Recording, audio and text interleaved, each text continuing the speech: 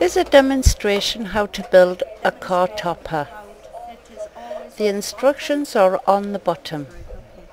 You remove the adhesive strip. There you go. Close the two sides together. Just run your fingers down. That's it. Then you fit the magnetics to the base where indicated on the topper. Just peel the backing off and place it on. There's one and the other. Easy as one, two, three. Just place it on the vehicle at your preferred place. Also looks great on the bonnet. Any sales message, any colour, big message.